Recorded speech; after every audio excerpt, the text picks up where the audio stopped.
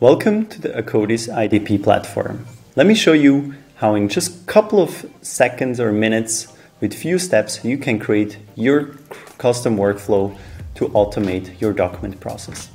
We go to create workflow and we create a category. Let me just create a category. We can create as many as we like, but for now we just stick to one. We create a category for batch records.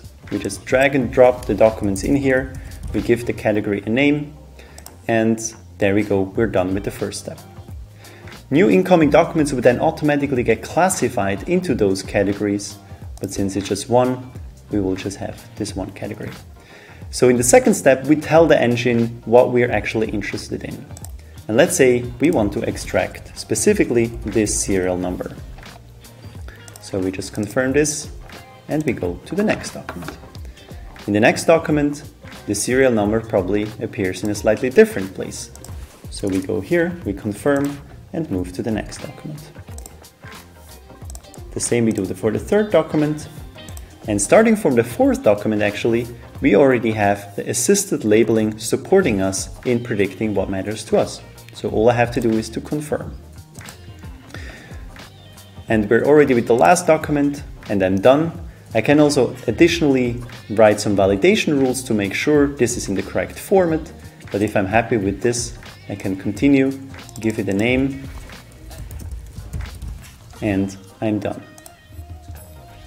So what has just happened? We actually trained a custom machine learning model for detecting serial numbers out of batch records, out of our batch records. And this with just a couple of clicks. So now our workflow is ready for production.